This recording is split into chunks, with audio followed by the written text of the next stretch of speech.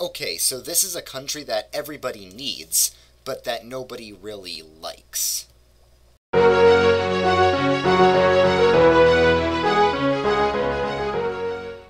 Sup guys, welcome back to Nations of Minecraft, and today's nation is Hyperland.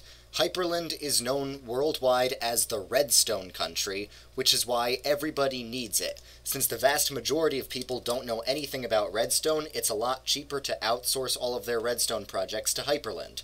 So that's why everybody needs them. Now let's talk about why most people don't like them. Hyperland is located right here in the east, which is where it gets its name, since Hyperion means east. So there are two main reasons people don't really like it. The first reason is that there's a general aesthetic of ugliness. It's kind of like, since it's a redstone country, a lot of the space needs to be used for redstone projects, some of them that fail and some of them that are half finished. So uh, a lot of the country is treated like a junkyard, and as a result, nobody really puts much effort into architecture. Also, um, the landscape is kind of ugly too. The landscape is terrible for farming, and a lot of the settlements that do exist have been abandoned or bombed or both. So yeah, if there's ugliness all around, there's not much of a motivation to create anything pretty. So yeah, the, the landscape is very unwelcoming for farming, which is kind of why it's the Redstone Province, since there's a lot of land that can't really be used for anything else. So it's used for like redstone experiments and it's useful, but once again, not very pretty. So another reason that a lot of people don't like it is because there's a great problem of wealth inequality. Most of the country is controlled by a handful of redstone corporations that um, don't really treat their workers well. The workers generally live in very small, uh, poor towns and harsh factory conditions, whereas the corporate owners and the government elites, who are just their puppets, live in super big houses and shiny skyscrapers with air conditioning. So, yeah, and um, this country up here, Hanakwa, once tried to like stage a stage a worker strike um, to get back for something Hyperland did to them a while ago, but it didn't work because um, the only way any of these people get food is from the corporation since they can't really grow any in the terrible land of this country. So Hyperland itself is not a republic because it's made up of two republics, the Republic of North Hyperland and the Republic of South Hyperland. The capital of North Hyperland is Chopperville and the capital of South Hyperland is Matricon. So generally, North Hyperland is used more for like the creative redstone engineering projects and experimentation, whereas the South Hyperland is more industrial, and that's where a lot of the redstone materials are built. In the city of Matricon, there are a lot of factories, and most of the world's repeaters, comparators, and hoppers and other redstone equipment is manufactured here.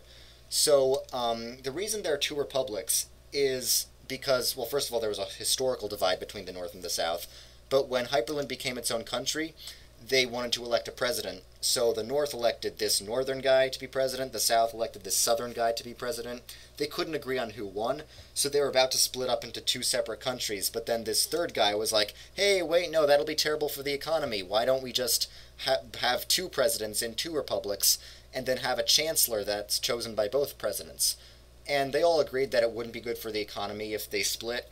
So they agreed on that, and conveniently, the guy who proposed it became the first chancellor, and North and South Hyperland were each their own republics with their own presidents. And uh, each republic had a capital city, but the capital of the whole country was Manplatin. Now, Manplatin, the city, is also the capital of Manplatin, the country. It's one city that's the capital of two different countries. We'll talk more about that in the Manplatin episode. But yeah, so Hyperland as a whole is known as the Federation of Hyperland, made up of two republics. So this is a map of the biomes. One pretty cool thing they did recently is this sand river, which was a dry riverbed, was converted back into a canal, so that way uh, the Deeston River could have access to the Hyperion Ocean. But yeah, other than that, most of the land is pretty much useless for farming, which is why it's used for redstone experimentation. Uh, so a lot of the biomes include things like desert, shrubland, dead fields, badlands, and acacia, all which are pretty dry. Uh, the only non-dry biome is they have a little bit of the jungle, but that wasn't historically part of Hyperland. They gained that territory pretty recently, and not many people live here. And there's also one bamboo forest, little one here, but it's protected as a national park. So yeah, generally all you need to know about the biomes is they suck for farming, but that makes them good for redstone. So this is a population map. Uh, as you can see, their biggest population centers are the city of Matricon here, the city of Manplatin here, and this is Chopperville. And most people live in this sort of light orange area. Most people are kind of dispersed along trade routes because that's where a lot of the factories and resource gathering villages are and where the fields, the experimentation fields are. So a good number of people live in the cities, but a good number of people also live um, in the factories and the industrial parts.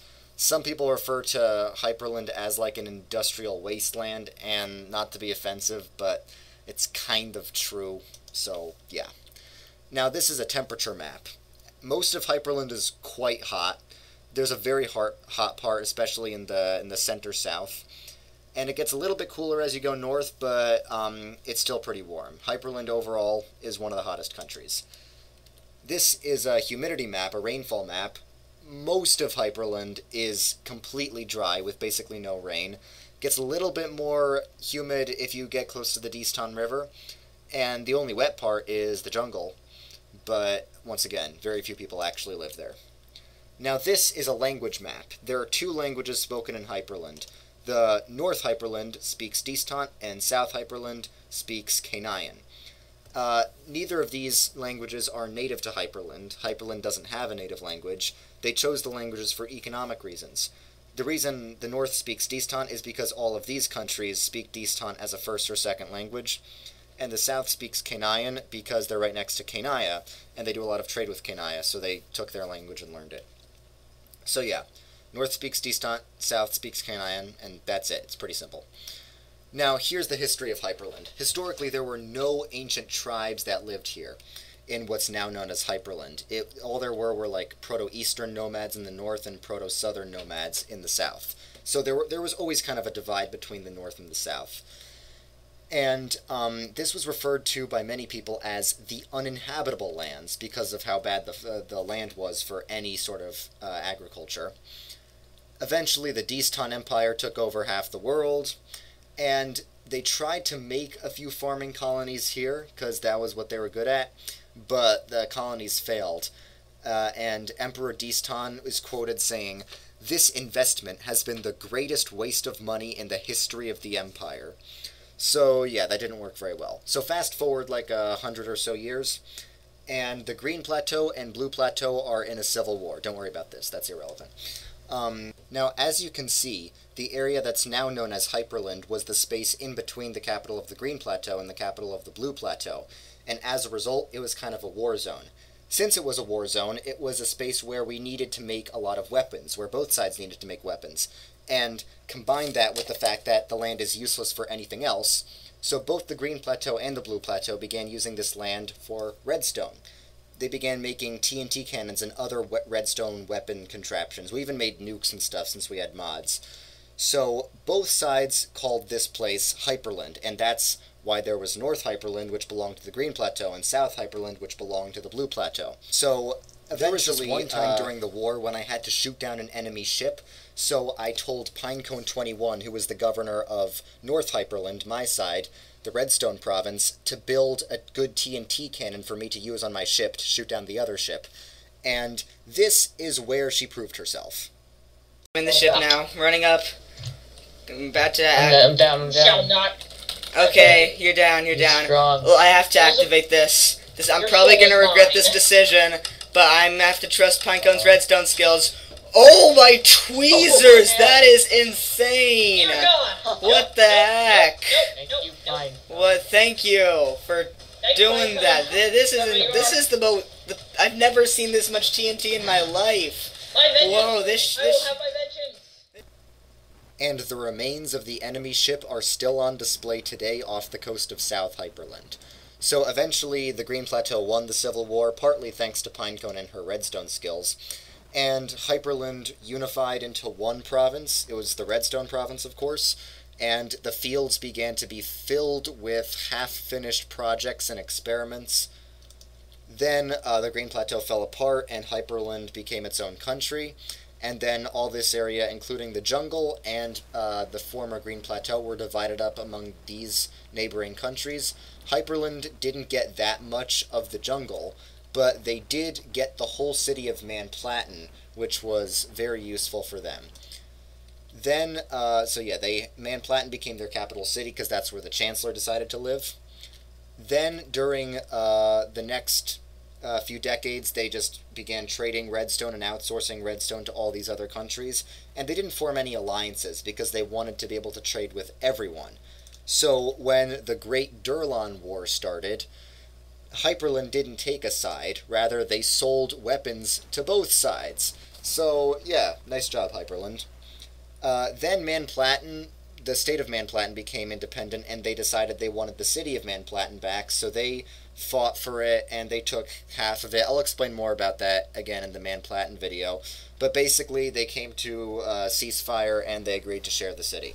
So yeah, since then, not much history has happened uh, Hyperland mostly remains neutral because once again they try they need to try and sell to everyone. So yeah, that's pretty much it. So, if you choose to visit, some top notable sites might include the University of Hyperland, which has a very large field. There's the Castle of Chopperville in the capital of North Hyperland. Uh, this is where a lot of the great redstone thinkers live, and they have these fields to experiment in. Uh, there's the hanging tower, which is where they hang thieves. Yeah, this is quite a deterrent. It's kind of disturbing.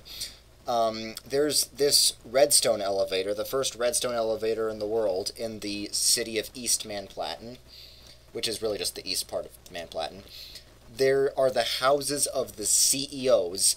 The leaders of the corporations live in very, very fancy houses, some of the fanciest in the world, whereas the workers live in, like, tiny shacks. And uh, there's this orchestra building, which used to uh, belong to just Manplattan, but in Hyperland owns half of Manplattan. Uh, there's Mount Olympus, another part of Manplattan. A lot of the stuff that's in Hyperland is really just stuff that used to belong to Manplattan, and Hyperland owns half of Manplattan. And of course, there's uh, the Capitol building of Hyperland, a shiny tall glass tower with a military bunker underneath and some military beds and cannons in the tower. And there's the Hyperland courthouse in the tower as well, and the Chancellor's office, which is at the very top of the tower. This whole tower actually used to be the Capitol building of the entire Green Plateau there was the Green Plateau and this building, which was like the legislative capital, because it was in Manplattan. So yeah, a lot of things that belong to Hyperland are just things that used to belong to Manplattan. They weren't necessarily created by Hyperland. So this thing was created by Hyperland. There's a toilet in uh, Matricon, just just a toilet. And also, uh, there was this one guy, this one uh, CEO. Instead of making a fancy, elaborate house in East Manplattan, he decided to make sort of a naturey house in the jungle built into this hill. So it's a really, really nice place. Uh, it's run by this horse who, yeah, just built a very naturey looking house. So, as we mentioned before, Hyperland generally stays neutral in terms of foreign relations, but these days there's kind of an exception to that. So, as I explained before, they absolutely hate Hanakwa. Hanakwa is their archenemy. Now, Hanakwa is best friends with Claytonia, and Claytonia is allies with Durlan. And of course, Durlan and Iapeta have this huge war, so technically that means Hyperland and Iapeta are now friends. Hyperland doesn't really get involved in the Iapeta Durlan conflict because, once again, they need to maintain um, good relations with most people, but the Chancellor has come out in favor of Iapeta as opposed to Durlan. And that's kind of okay since Durlan is one of the few countries that actually can do their own redstone, so Durlan never was really buying from Hyperland to begin with. Now, uh, South Hyperland is really good friends with Kanaya, even though Kanaya sides with Durlan. They're especially good friends with North Kanaya, since North Kanaya is less fond of Durlan than South Kanaya. And since South Hyperland speaks Kanayan, they're just really good friends, really big fans of Kanaya. Now, Min Platin is kind of like begrudgingly friends with Hyperland. Since they share the same capital city, they kind of have to get along, even though they don't really love each other. But generally, overall, Hyperland, aside from Hanakwa, doesn't really hate anyone, and aside from the South, like in Kanaya, they don't really love anyone either. They they just do business with anyone, even though not many people like them that much. In conclusion, Hyperland is like that nerdy kid who's not that popular, but everyone still goes to him when they need help with their math homework. Stay tuned. The big guy, Iapeta, is coming up next.